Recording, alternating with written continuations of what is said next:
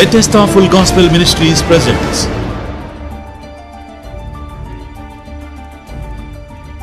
బెతెస్త సంపూర్ణ సువార్త సహవాసం నిర్వహించు మొదటి ఆరాధన ప్రతి ఆదివారం ఉదయం ఎనిమిది గంటల నుండి పది గంటల వరకు విజయవాడ చిట్టినగర్ కల్రా హాస్పిటల్ ఎదురుగా శ్రీ అప్పికట్ల జోసెఫ్ మరియు మార్తమ్మ గార్ల స్కూల్ ఆవరణలో జరుగును. రెండవ ఆరాధన.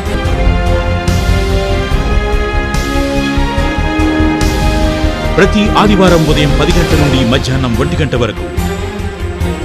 విజయవాడ కృష్ణలంక ఫైర్ స్టేషన్ ఎదురు డౌన్లో పెద్దివారి వీధి బెతెస్తా మందిరమందు జరుగును.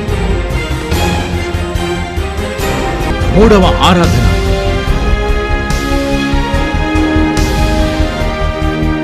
పటమట డొంక రోడ్లో గల SR VSM English medium high school ఎదురు సందులు కుడివైపున రెండవ సందులో గల శ్రీ వీరాంజనేయ జనరల్ స్టోర్స్ ఎదురు సందునందు ప్రతిరోజు సాయంత్రం ఆరు గంటల ముప్పై నిమిషాల నుండి ఎనిమిది గంటల ముప్పై నిమిషాల వరకు వ్యతస్థా మందిరం నందు ఆరాధన జరుగును. ప్రతి ఆదివారం ఉదయం అభిషేక స్వస్థత ప్రార్థన. ప్రతి శనివారం ఉదయం పది గంటల నుండి ఒంటి గంట వరకు కృష్ణలక్క ఫైర్ స్టేషన్ ఎదురు డౌన్లో పెద్దివారి వీధిలో గల వ్యతస్థా మందిరమందు రోగుల కొరకు యేసు రక్తముతో అభిషేకించి స్వస్థత ప్రార్థనలు చేయబడి శక్తివంతమైన స్థుతి ఆరాధన బలమైన వాక్య సందేశం స్వస్థతలు మరియు అద్భుతములు మీరే మందిరమునకు వెళ్ళని వారైతే రండి ప్రభువుతో కలిసి ఆరాధిద్దాం దైవికమైన ఆశీర్వాదాలు పొందుదాం.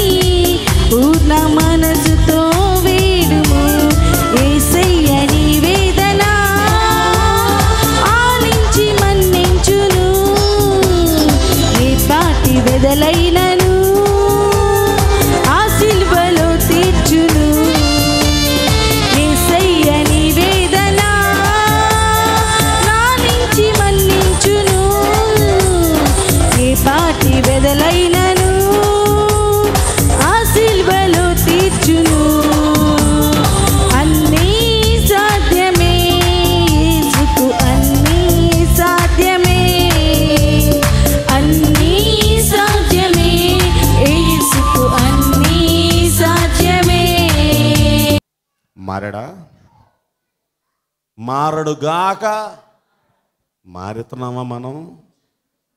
ఆడు మారలేదు మన సంగతి ఆడి సంగతి ఎందుకు అయిపోయింది చరిత్ర. మారుతున్నామా మనం? మన లెక్కకు వద్దాం ఈయనకి ఎన్నాళ్ళు టైం ఇచ్చాడో చెప్పనా? ఇరవై తొమ్మిది. పన్నెండు నెలలు గడిచిన పిమ్మట. పన్నెండు నెలలు గడిచిన పిమ్మట. అంటే పన్నెండు నెలలు టైం ఇచ్చాడండి దేవుడు ఆయనకి. దేనికోసం? మారటానికి. పన్నెండు నెలల్లో దుర్మార్గుడు ఆ దుర్మార్గాలు మానుకోలేదు. వాడు మారలేదు. ఎన్నాళ్ళు? పన్నెండు నెలలు. ఇక్కడ కూర్చున్న కొంతమందికి పన్నెండు సంవత్సరాలు ఇచ్చాడేమో. ఎన్నాళ్ళ నుండి దేవుడు మాట్లాడుతున్నాడు మాట్లాడుతున్నాడు మాట్లాడుతున్నాడు మార్చటానికి ప్రయత్నం చేస్తున్నాడు మారమని చెప్తున్నాడు. అదృష్టం నీ గడప ముందు ఉంది అదృష్టం నిన్ను వరించబోతుంది. మారో పద్ధతి మార్చుకో మాట తీరు మార్చుకో ప్రవర్తన సరిచేసుకో దేవుడు మనతో మాట్లాడుతూనే ఉన్నాడు. ఎన్ని సంవత్సరాల నుండో ఆలోచించండి. పన్నెండు నెలలు మారలేదు దుర్మార్గుడు. మరి మన సంగతి ఏమనాలి? ఆడు దుర్మార్గుడే. మన సంగతి ఏమనాలి? ఆలోచించండి.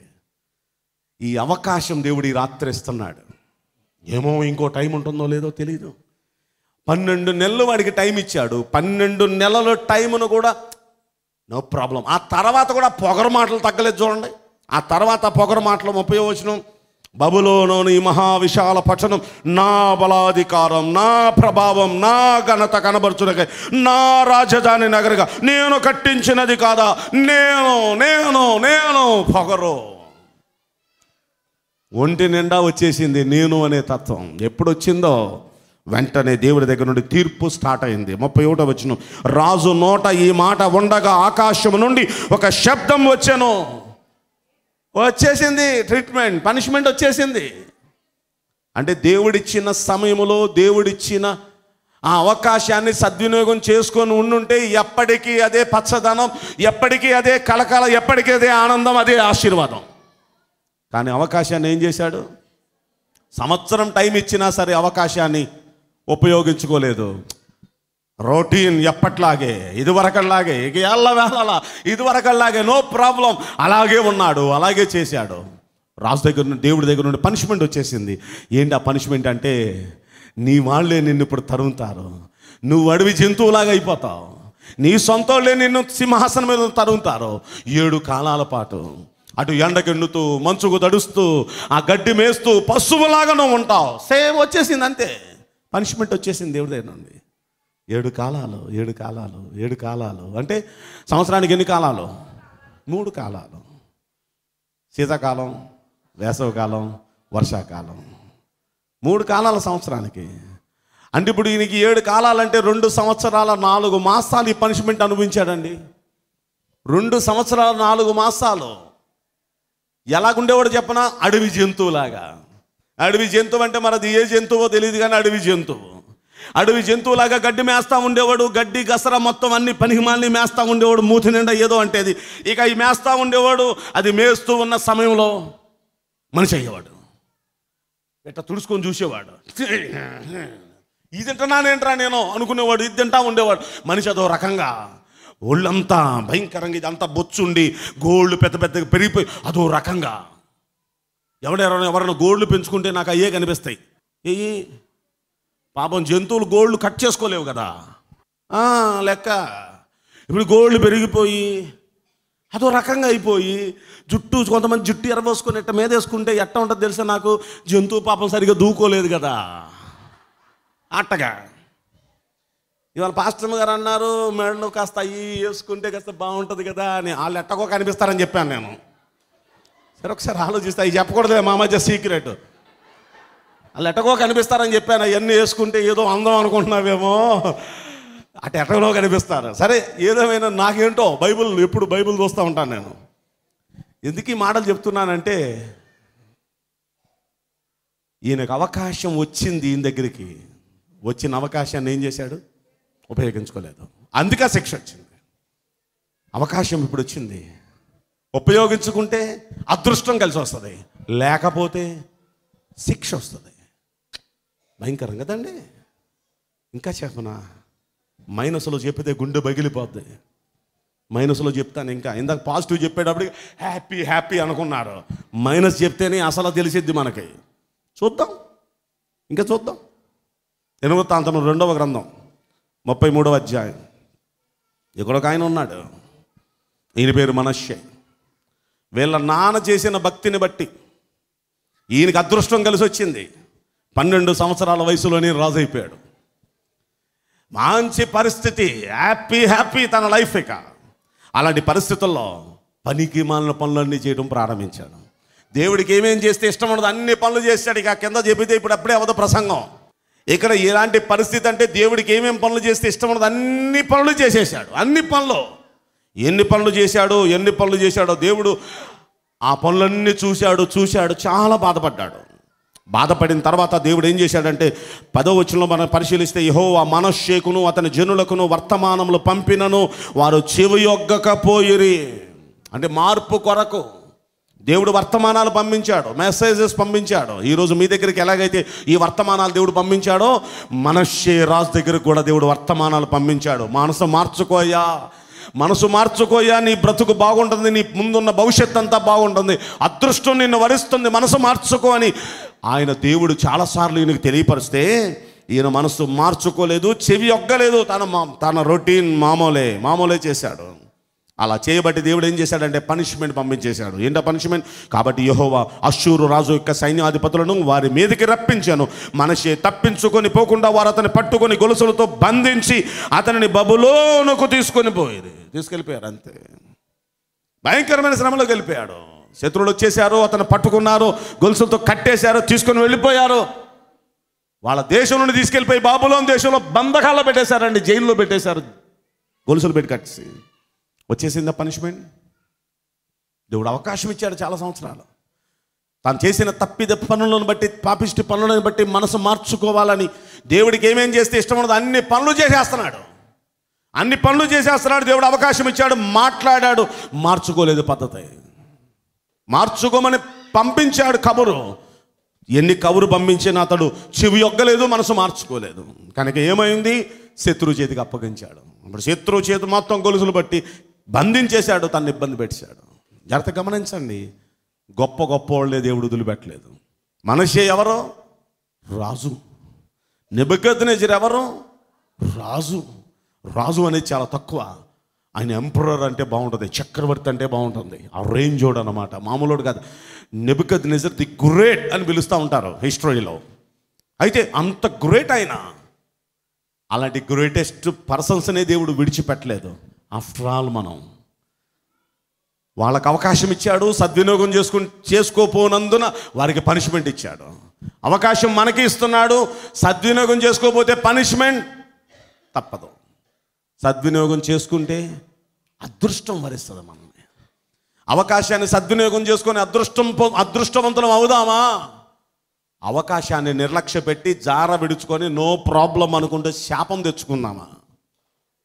ఇలా చెప్పటానికి చాలామంది ఉన్నారు చాలామంది ఉన్నారు మైనసే ఎక్కువ చెప్పాలి. ఎందుకంటే మైనస్ చేస్తున్న వాళ్ళమే ఎక్కువ కాబట్టి. ఇంకోటి చూపిస్తాను ఆగండి. ఎందుకు మీరు ఇబ్బంది పడతారు? రాజుల మొదటి గ్రంథం. ఒకసారి చూద్దాం. రాజుల మొదటి గ్రంథం. అవకాశాన్ని జార విడుచుకుంటే పరిస్థితి ఏమైద్దో పదకొండవ అధ్యాయం. రాజుల మొదటి గ్రంథం పదకొండవ అధ్యాయం. పదకొండవ అధ్యాయం. ఈ పదకొండవ అధ్యాయం మీరు ఇళ్ళకు వెళ్ళిన తర్వాత చదువుకోండి. ఈ పదకొండవ అధ్యాయంలో ఫస్ట్ పారాగ్రాఫ్. మీరు ఇంటికి వెళ్ళిన తర్వాత చదువుకోండి మొదటి వచ్చిన నుండి ఎనిమిదో వచ్చిన వరకు. దేవుడికి ఏమేం పనులు చేస్తే ఇష్టం ఉండదో అన్ని పనులు చేయడం మొదలెట్టేశాడు సులోమోన్ ద గ్రేట్. ఈ సాల్మన్ ఏంటంటే దావీదు భక్తిని బట్టి దావీదు మంచితనాన్ని బట్టి పదహారు సంవత్సరాల వయసు అప్పుడు ఈయన కూడా రాజు అయిపోయాడు దావీదు భక్తిని చూశాడు అదే భక్తిని కూడా మెయింటైన్ చేశాడు. ఆ భక్తిని మెయింటైన్ చేసిన కారణాన దావీదు కంటే ఎక్కువ కృప ఇచ్చాడు ఎంత కృప అంటే అసలు ఈయనకి ఇచ్చినంత జ్ఞానం ప్రపంచంలో మరి ఎవరికి ఇవ్వలేదు. అంత జ్ఞానాన్ని ఇచ్చాడు. జ్ఞానం మాత్రమే కాదు అడక్కపోయిన ఐశ్వర్యం ధనం ఘనత అన్నీ ఇచ్చాడు సమృద్ధిగా. దావీదు కంటే గ్రేట్ ఈయన. దావీదే గ్రేట్ అంటే దావీది కంటే గ్రేట్ దావీది కంటే చాలా చాలా తెలివైనవాడు. దావీది ఇంకా కత్తి తీసి యుద్ధం చేసి రిస్క్ తీసుకోవాలి. రిస్కే తీసుకోకర్లేకుండా అసలు జ్ఞానంతోనే కత్తి పట్టకుండా పరిపాలన చేసే టాలెంట్ ఇచ్చాడండి. టాలెంట్స్ ఇస్తాడు దేవుడు. టాలెంట్స్ ఇస్తాడు. అది మన గ్రేట్నెస్ కాదు. మన తల్లిదండ్రులు చేసిన భక్తి మన తల్లిదండ్రుల ప్రార్థన లేక ఏదో అడప తడప మనం మనం కూడా చేసిన దాన్ని జ్ఞాపకం చేసుకొని దేవుడు మంచి టాలెంట్ ఇస్తాడు దేవుడు మంచి అవకాశాలు ఇస్తాడు దేవుడు మంచి బ్లెస్సింగ్ ఇస్తాడు. అన్నీ బాగున్నాయి హ్యాపీ హ్యాపీ. కానీ ఈయనకి ఇలా మంచి పొజిషన్ ఇచ్చేశాడు మంచి టాలెంట్ ఇచ్చాడు మంచిగా దేవుడు హెచ్చించాడు. కానీ దేవుడికి ఇష్టం లేని పనులన్నీ చేయడం ప్రారంభించాడు. ఏ పని చేస్తే దేవుడు బాధపడతాడు ఆ పనులన్నీ చేసేశాడు. ఆ పనులన్నీ చేసేస్తే తొమ్మిదో వచ్చిన చూడండి. ఇజ్రాయేలీల దేవుడైన యెహోవా అతనికి రెండు మార్లు ప్రత్యక్షమై రెండు మార్లు దేవుడు అతనికి ప్రత్యక్షమయ్యాడు. ఇక వాక్యం ద్వారా కాదు సాక్షాత్ భగవంతుడే అతనికి ప్రత్యక్షమై నీవు ఇతరుల దేవతలను వెంబడింపవలదని అతనికి ఆజ్ఞాపించినను సులోమన్ హృదయం ఆయన యొద్ద నుండి తొలగిపోయాను. యహోవా అతనికి ఇచ్చిన యహోవా తనకిచ్చిన ఆజ్ఞ అతడు గైకొనకపోగా యహోవా అతని మీద కోపగించి సెలవిచ్చినదేమనగా ఇక చూడండి దేవుడి కట్టడాలు దేవుడి శాసనాలన్నీ డోంట్ కేర్ తీసి అవతల పడేశాడు. దేవుడికి ఇష్టం లేని విగ్రహార్థన అంతా చేయడం ప్రారంభించాడు. దేవుడికి ఇష్టం లేని పాపిష్టి పనులన్నీ చేయడం ప్రారంభించాడు. దేవుడికి ఏం చేస్తే ఇష్టం ఉన్నదో అవన్నీ చేస్తూ దేవుని మనసును దుఃఖపెడితే దేవుడు చాలా బాధపడ్డాడు. రెండు సార్లు ప్రత్యక్షం ఇది కరెక్ట్ కాదు ఇది కరెక్ట్ కాదు పద్ధతి మార్చుకో. సాల్మన్కి దేవుడు చెప్పాడండి రెండు సార్లు. రెండు సార్లు చెప్పిన అతడు పద్ధతి మార్చుకున్నాడా? మార్చుకోలేదు. పనిష్మెంట్ వచ్చిందంతే. వచ్చేసింది. సొలోమన్ గురించి చెప్పాను. మనషే గురించి చెప్పాను. నెబకద్ నిజర్ గురించి చెప్పాను. అవకాశం వీళ్ళకి ఇవ్వలేదా దేవుడు? నెబకద్ నిజర్కి అవకాశం పన్నెండు నెలలు ఇచ్చాడు. మనశ్శేకి దేవుడు చాలా కాలం అవకాశం ఇచ్చాడు. అతనికి చాలా మార్లు అతనికి వర్తమానాలు పంపించాడు. ఆయన అవకాశాన్ని సద్వినియోగం చేసుకుంది. ఇతనికి రెండు సార్లు దేవుడే ప్రత్యక్షమయ్యాడు. అవకాశం వేరే వాళ్ళతో దేవుడే కలలో కనబడి ప్రత్యక్షమై అతనితో మాట్లాడటం మార్చడం ప్రయత్నం చేశాడు. అతడు ఏమాత్రం మారలేదు. మారని కారణాన పనిష్మెంట్ వచ్చేసింది. అవకాశం వచ్చినప్పుడు సద్వినియోగం చేసుకున్న చక్కయ్య అదృష్టవంతుడయ్యాడు. అవకాశం వచ్చినప్పుడు సద్వినియోగం చేసుకున్న భర్తిమై అదృష్టవంతుడయ్యాడు. అవకాశం వచ్చినప్పుడు సద్వినియోగం చేసుకున్నా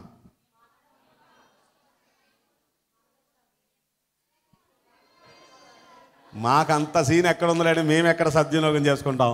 మేము నెబుకత్ నిజర్ ఖాతాలో వేసేయండి మమ్మల్ని కూడా. మమ్మల్ని నెబుకత్ నిజర్ ఖాతాలోనే వేయండి మేము ఇప్పుడప్పుడే మారం. వేసేయండి దాంట్లో. మీకు దానికి అదే కరెక్ట్ అనుకుంటున్నాను. మరి ఇందాక ఎందుకు మాట్లాడలా? మనలో మాట. ఇందాక ఎందుకు మాట్లాడలా? నా కోసం మాట్లాడారా? ఓహో మరి నీ కోసం ఏం మాట్లాడుకుంటావు? అవకాశాన్ని సద్వినియోగం చేసుకునే వాళ్ళు ఎవరు ఉన్నారు ఇక్కడ? అవకాశం సద్వినియోగం చేసుకుంటే అదృష్టం వరిస్తుంది మనల్ని. అవకాశం మీ ముందుకొచ్చింది. మీ ముందుకొచ్చింది అవకాశం ఇప్పుడు. అవకాశాన్ని సద్వినియోగం చేసుకున్న భర్తిమై అవకాశాన్ని సద్వినియోగం చేసుకున్న జక్కై అవకాశాన్ని సద్వినియోగం చేసుకున్న వాళ్ళిద్దరూ అదృష్టవంతులయ్యారు. అవకాశాన్ని మనం కూడా సదృ సద్వినియోగం చేసుకొని అదృష్టవంతులు మగుదుముగాక పట్టాలి చప్పట్లో. పట్టాలి చప్పట్లో. హలలోయ హలలోయ నెబుకద్నెజర్ లాగా మనం. అనండి ఇటు చూడండి. నెబుకద్నెజర్ లాగా మనం. మనశ్శేలాగా మనం. సులోమోను లాగా మనం. జక్కయ్యలాగా. భర్తిమయలాగా అది మోకరించేదో దేవుని పాదాల దగ్గర పశ్చాత్తాపంతో ప్రార్థన చేద్దాం. వీళ్ళిద్దరూ మారారు పద్ధతి మార్చుకున్నారు అదృష్టం వరించింది. వాళ్ళ ముగ్గురు మారలేదు పద్ధతి మార్చుకోలేదు. అవకాశం దేవుడిచ్చి మాట్లాడుతున్న వారు మారలేదు మారలేదు. అందుకే అదృష్టానికి బదులు శాపం వారి మీదకి వచ్చింది ఈరోజు మారితే అదృష్టం మిమ్మల్ని వరిస్తుంది. ఈరోజు మీరు మారకపోతే శాపం మీ ముందుకు వస్తుంది. అదృష్టవంతులము అవ్వటానికి దేవుడు అవకాశం ఇచ్చాడు. ఈ రాత్రి ఇక్కడ మోకరించి మనం ప్రార్థిస్తున్నాం. చేతులు పైకెత్తి ప్రభు సన్నిధిలో ప్రార్థన చేయండి. అదృష్టవంతులం అవ్వటానికి దేవుడు అవకాశం ఇచ్చిన మంచి సమయంలో దేవుని పాదాల దగ్గర మనం ప్రార్థన చేద్దాం.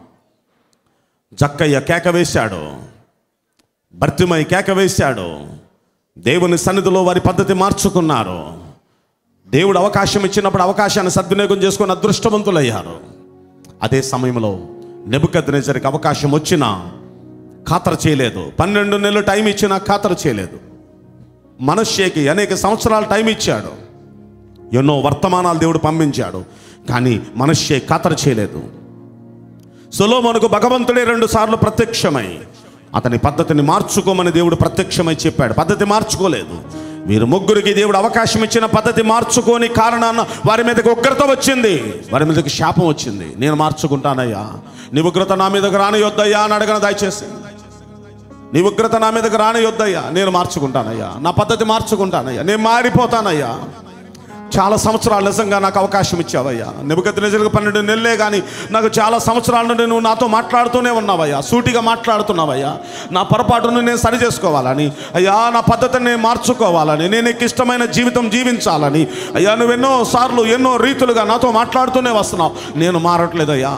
నేను వాక్యానికి వాక్యం వింటున్నాను ప్రార్థన చేస్తున్నాను కానీ నా పద్ధతి మార్చుకోవటం లేదయ్యా.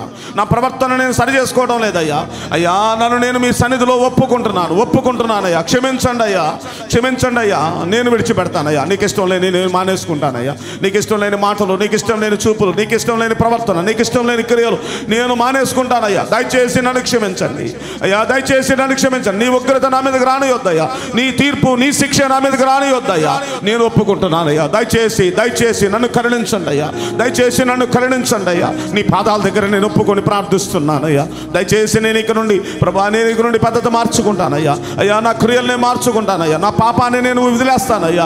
అయ్యా నేను చేసే నీకు ఇష్టం లేని కార్యాలు నేను వదిలేస్తానయ్యా. అయ్యా నేను నీకు ఇష్టమైన జీవితం జీవిస్తానయ్యా. నీకు ఇష్టం లేని జీవితాన్ని నేను మానుకుంటానయ్యా. నీకు ఇష్టమైన జీవితం జీవిస్తానయ్యా. నీకు ఇష్టమైనట్టుగా ప్రవర్తిస్తానయ్యా. దయచేసి గత కాలాన్ని బట్టి క్షమించండి అయ్యా క్షమించండి అయ్యా నీకు ఇష్టమైన జీవితం జీవిస్తాను. ఈ రోజు ఈ స్థలంలో కూడి వచ్చిన మనందరినీ అదృష్టవంతులుగా మార్చడానికి మన ప్రభు సూటిగా స్పష్టంగా మనతో మాట్లాడుతున్న ఈ సమయంలో సమయంలో. అదృష్టం మీ కళ్ళ ముందు ఉంది మీ ముందు ఉంది. అదృష్టం మిమ్మల్ని వరించాలంటే ఈ రోజే మనం మారిపోవాలి. ఈ సమయమే మారిపోవాలి. దేని గురించి ఆలోచించొద్దు? ఎవరి గురించి ఆలోచించొద్దు?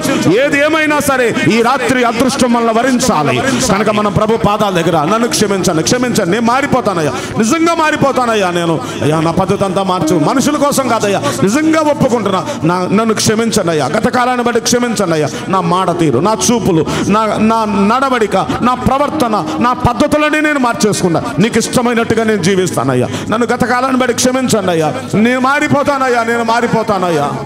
ప్రభు పాదాల దగ్గర మనం చేసిన ప్రార్థన. కృపగల దేవుడు ఆలకించారు అంగీకరించారు గొప్ప కార్యాలు చేయబోతున్నారు ఆశ్చర్య కార్యాలు చేయబోతున్నారు అదృష్టవంతులుగా మనం మార్చబోతున్నారు. అలా మార్చబోతున్న మహాదేవునికి మనతో మాట్లాడిన దేవునికి చప్పట్ల కొడుతూ దేవా నాతో మాట్లాడినందుకు మీకు కృతజ్ఞతలు. కృతజ్ఞతలు నేను మారిపోతానయ్యా. ఆ పద్ధతి మార్చేసుకుంటానయ్యా. సరి చేసుకుంటానయ్యా కృతజ్ఞతలు కృతజ్ఞతలు యేసయ్యా కృతజ్ఞతలు. కృతజ్ఞతలు.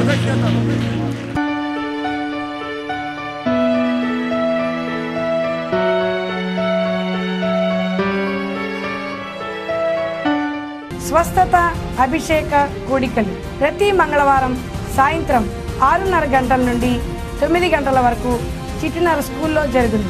ప్రతి శుక్రవారం సాయంత్రం పటమట చర్చిలో ప్రతి శనివారం ఉదయం పది గంటల నుండి ఒంటి గంట వరకు కృష్ణలంక చర్చిలో జరుగును. స్తుతి ఆరాధన అభిషేక ప్రార్థనలు బలమైనటువంటి వాక్య సందేశం జరుగును.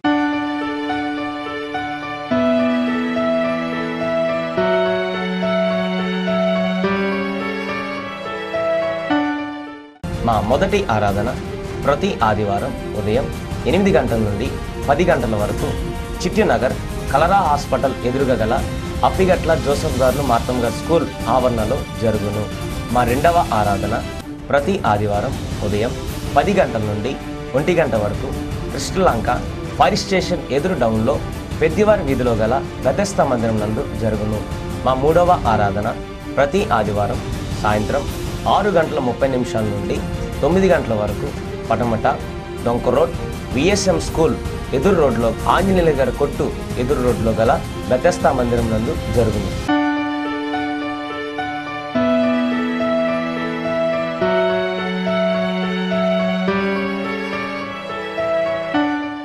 స్త్రీల కూడికలు ప్రతి నెల రెండవ వారంలో సోమవారం కృష్ణలంక చర్చిలో బుధవారం పటమట్లో గురువారం చిట్టినార్ చర్చిలో ఆరున్నర గంటల నుండి తొమ్మిది గంటల వరకు జరుగును.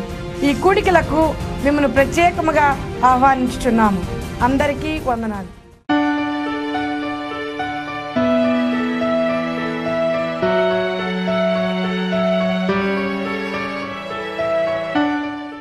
యూత్ మీటింగ్లు ప్రతి నెల మొదటి వారంలో సోమవారం శ్రీలంకలో బుధవారం పడమట్లో గురువారం చిట్టినగర్లో సాయంత్రం ఆరు గంటల ముప్పై నిమిషాల నుండి తొమ్మిది గంటల వరకు మన సహోదరులకు సహోదరులకు ప్రత్యేకమైన స్కిట్స్ క్విజ్ మరికొన్ని ఆసక్తికరమైన కార్యక్రమాలు జరిగాయి ఈ ఆరాధనలకు యూత్ మీటింగ్లకు మిమ్మల్ని ప్రత్యేకముగా ఆహ్వానిస్తున్నాము. మీ అందరికీ నా వందనాలు.